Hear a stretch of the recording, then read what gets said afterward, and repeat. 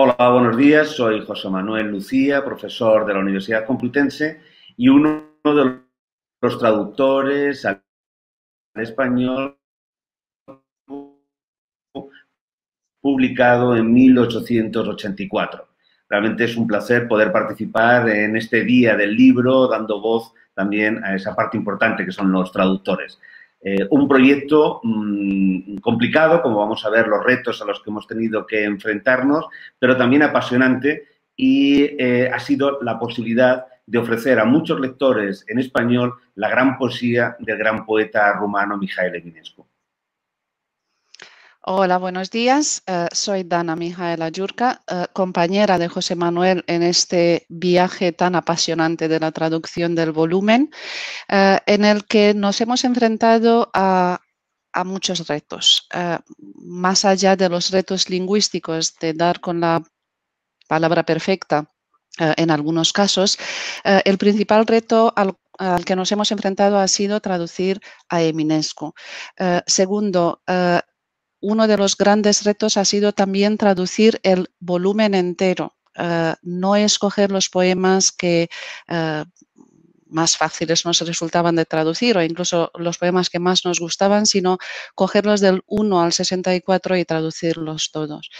Uh, no en último lugar, también ha sido un reto um, conseguir encontrar un equilibrio entre, entre uh, los dos, uh, porque aunque sea un gran apoyo y una gran ayuda poder contar con, uh, con un compañero de lujo como es José Manuel, a veces encontrar el equilibrio no ha sido fácil.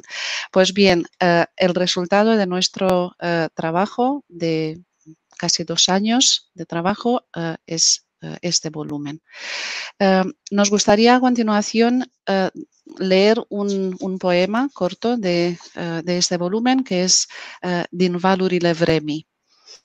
Din valurile vremii, iubita mea răsai, cu brațele de marmur, cu părul lung, pălai și fața străvezie cu fața albei ceri, slăbită e de umbra duioaselor dureri.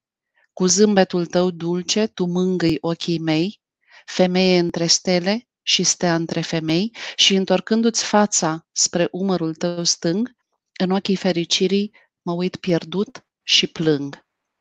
Cum oare din noianul de negruri să te rump, să te ridic la pieptumi, iubite înger scump, și fața mea în lacrimi pe fața ta să o plec, cu sărutări aprinse, suflarea să-ți o nec, și mâna friguroasă să o încălzesc la sân, aproape, mai aproape pe inima am să țin. Dar vai, un chip aevea nu ești, astfel de treci și umbra ta se pierde în negurile reci, de mă găsesc iar singur, cu brațele în jos, în trista amintire a visului frumos, zadarnic după umbra ta dulce le întind, din valurile vremii nu pot să te cuprind.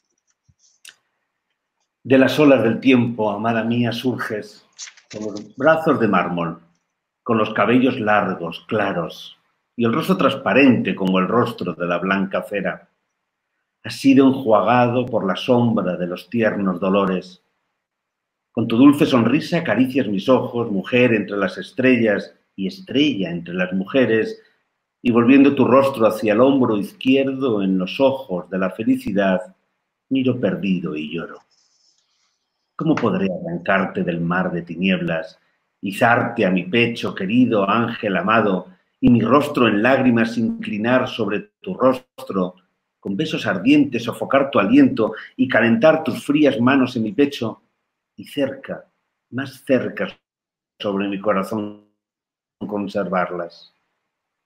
Pero ay, no eres una criatura real. Así que pasas y tu sombra se pierde en las frías tinieblas y yo me encuentro de nuevo